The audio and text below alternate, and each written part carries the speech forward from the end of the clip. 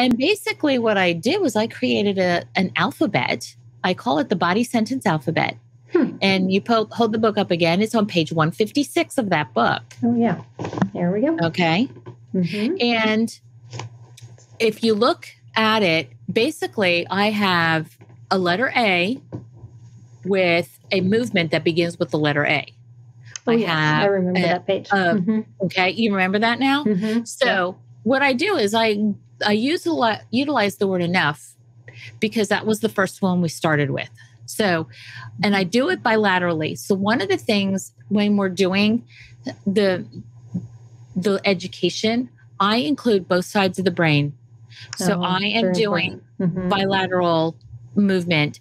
In this particular instance, I am doing that parallel on the sides of the body. Some Hmm. things I will do where I'm interlacing my hands. This particular one, I am just doing it. So temporarily, I'm going to remove because I don't want to hit my mic. So it's eyes, E, Mhm. N, nose, O, open, under, and I do, I go back and forth just to to do that, and Mhm. G for give, and then H is high fives. Mhm. So I have the kids do that big, big movements. Mhm.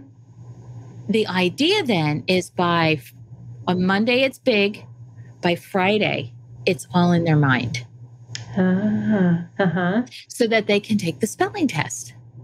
Mm. And then Mhm. we don't try to do, we don't do all of the spelling words because that is just too much for them to handle at one time. Right. Mhm. We will take one or two and get them to really understand those. Mhm. Then we get to add to it. Then we add to it. Another thing that we, we do is we have the spelling words from, say, the beginning of September, Mhm. and we don't see them again, right? Right. Well, I am constantly recycling back. Oh, yep. Mhm. So I am constantly going back so that I am building on them and they are continually going through the ones that they have learned in the past. right. And if they don't remember them, they get them more often. Mhm. So if they're remembering them, they may not see it for a week or so and then it'll come back. So it's called um, uh, retrieval pra- practice where you're Mhm. increasing the length of time. Yeah. You also have interleaving, which is that m- interlacing the uh, old and the new together.